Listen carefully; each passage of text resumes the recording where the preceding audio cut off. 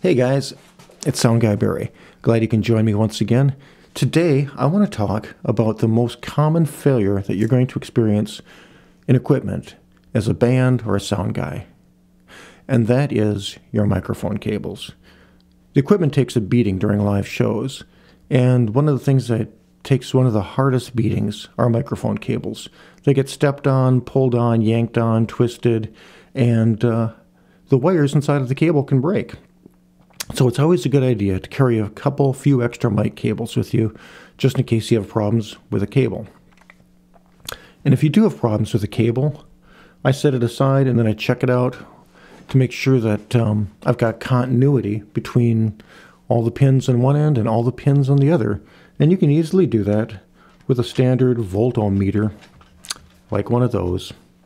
And you just take the test probes and go to pin 1 on one end of the cable and pin 1 on the other end of the cable, and we should see approximately 0 ohms. We should see a nice conductive path from one pin to another. And same thing with pins 2 and pins 3, and there shouldn't be any connection between those pins. So between pin 1 and 2, or 1 and 3, or 2 and 3, it should be an open circuit, high resistance. And if that's the case, cable's probably good. An easier way to check out your cable if you have access to both ends, is with a cable tester box, which does really the same thing except that it can check all three wires at the same time and uh, show up on these bank of LEDs here if any of the wires are open or defective. And so that's not so bad. If you can get to both ends of the cable, it's pretty easy to check out.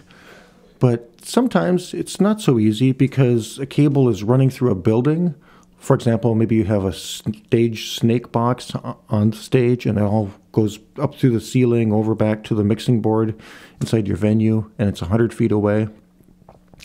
And uh, then that way you can't get to both ends of the cable to check out for continuity so easily unless you plug in another cable on stage and run it all the way back to the board or something. That's a hassle. And so I've got a little device here that you could make really easily to check this stuff out.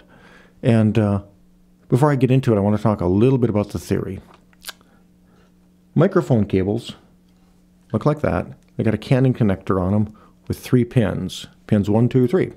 Pin 1 is ground, 2 and 3 are signal. And the two signal connectors work equally and opposite from each other. So when the voltage goes up on pin 2, it goes down on pin 3. And uh, the reason for doing this, this is called a balanced connection. And the reason for using balanced connections is because the preamplifier inside your mixing board is going to be able to better reject outside noise, buzz, and hum coming into the cable because it's able to look at the difference in signal between those wires as opposed to just whatever signal is on those wires. And so that's why we do that. So with balanced cables, we can run microphone lines 100 feet or more and still get usable quality audio out of it without hum and buzz and noise from the external environment getting in. And then another thing that we can do is apply phantom power to the cable, and that's used for powering capacitor microphones. Now, there's two types of microphones that are in common use. The most common that you'll find on stage is a dynamic microphone, and that's a microphone that operates much like a loudspeaker does, where there's a diaphragm in the microphone that's in front of a permanent magnet, and there's a small coil of wire attached to the diaphragm. So when sound hits the microphone, it causes the diaphragm to vibrate slightly. That vibration in front of the magnet causes current to be induced into the coil. That goes down the wire.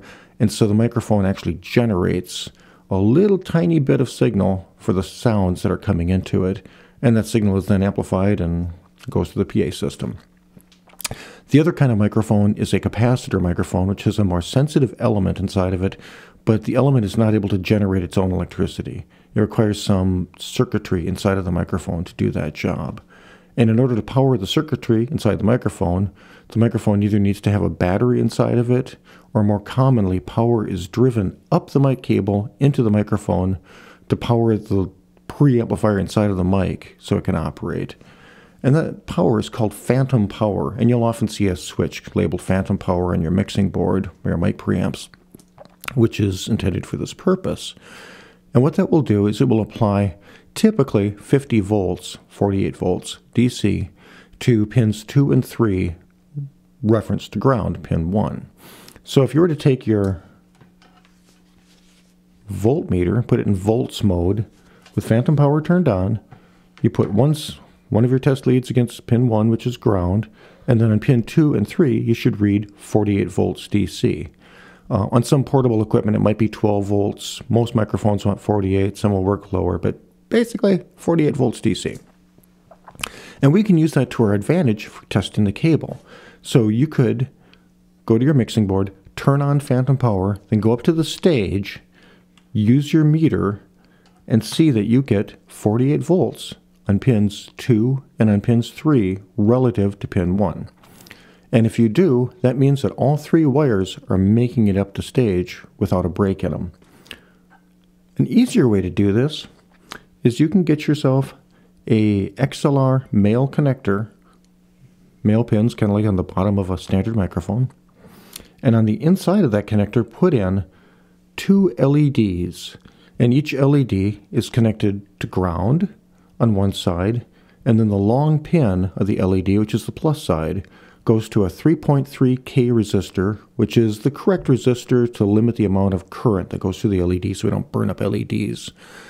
And so it goes, LED goes the short pin to pin 1 on ground, then the long pin of each LED goes to is connected to a resistor of about 3.3K. The other side of that resistor then gets connected to pin 2 on one LED, and the other LED goes to pin 3. And so therefore, if we apply 48 volts DC phantom power to this connector, both LEDs should light up if it's getting DC power to pins 2 and pins 3. And it will look something like that. Hopefully you can see that okay.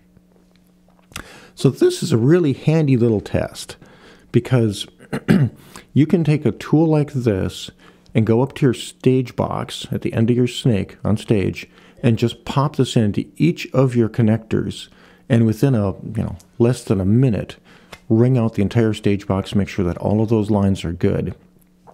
Now of course this is a very simple test. It just makes sure that it gets phantom power on both pins 2 and 3 and so that's a pretty good indication that all three wires in that cable are good. And most of the time when cables fail it's because there's a broken connection somewhere. Either it's broke from the cable getting twisted, or very likely it breaks right up the connector. But uh, that's usually what happens.